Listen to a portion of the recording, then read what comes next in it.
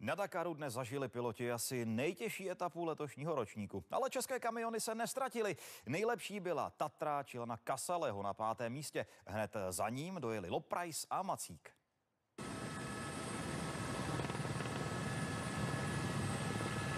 Takhle to v osmé etapě vypadalo. Trať byla prý jedno velké vrakoviště. Tři nehody jsme tam viděli, nebyly zrovna hezký, byly dva kenemy v sobě, který tam byla helikoptéra a pak ten jeden kamion 20 kilometrů před cílem. České kamiony to ale zvládly a seřadili se hezky za sebou. Kasále pátý, Loprajs šestý a Macík sedmý.